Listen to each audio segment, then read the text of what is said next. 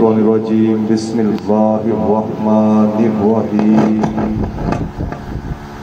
وما أرسلناك إلا رحمة للعالمين.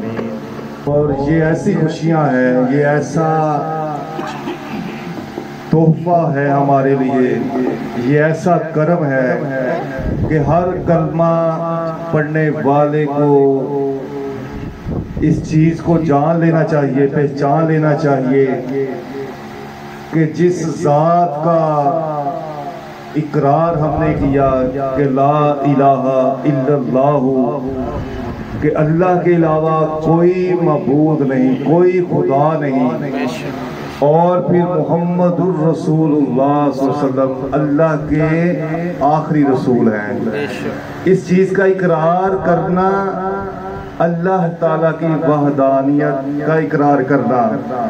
یہ ہر اس بندے پر فرض ہے جس نے اس کلمے کو پڑھ کے دائرہ اسلام میں بندہ داخل ہوا ہے۔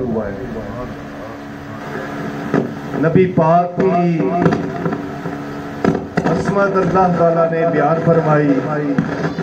تو نبی پاک صلی اللہ علیہ وآلہ وسلم سے اظہار محبت کرنا آقا سے عشق کرنا، آقا کی تعریفیں بیان کرنا، یہ اللہ تعالیٰ کی سنت پاک ہے۔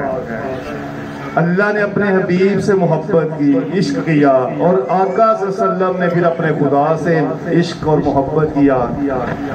اور نہ کوئی اللہ کا اس عمل میں ثانی ہے کہ جیسا عشق اللہ نے اپنے حبیب سے فرمایا، اللہ نے کسی اور نبی سے ایسی محبت، ایسا عشق اظہار نہیں فرمایا جس طرح نبی پاک صلی اللہ علیہ وآلہ وسلم کی ذات سے فرمایا۔